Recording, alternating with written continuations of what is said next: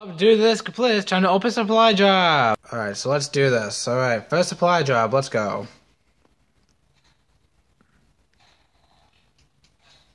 Worthless. Oh, I see a legendary. Oh, it's just a camo. I'm not really too excited with supply drops, but at least I got like. Wait, is that a black cell? Ah, it's a black cell.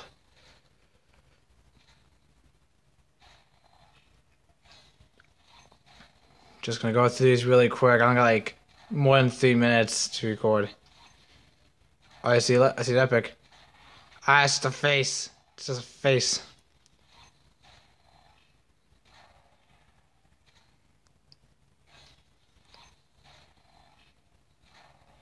Another camo for the PO6?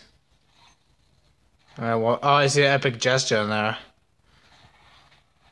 Can't wait to look at that. Okay, now I'm gonna go for the uh, melee weapon bribe.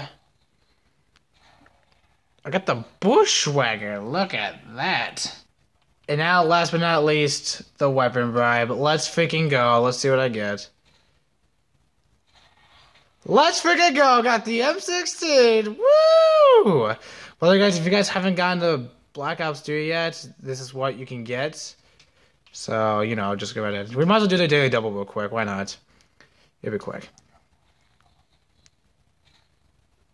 Okay, I see an epic gun. Yeah, it's a, a crappy camo. And then we got the Weevil Quick Draw variant. And that's it for this video. Thank you guys for watching me open supply drops. If you want to open supply drops, if you own, you can do that in Black Ops 3. It's available for everybody. So like, comment, subscribe. I'll see you guys in the next video.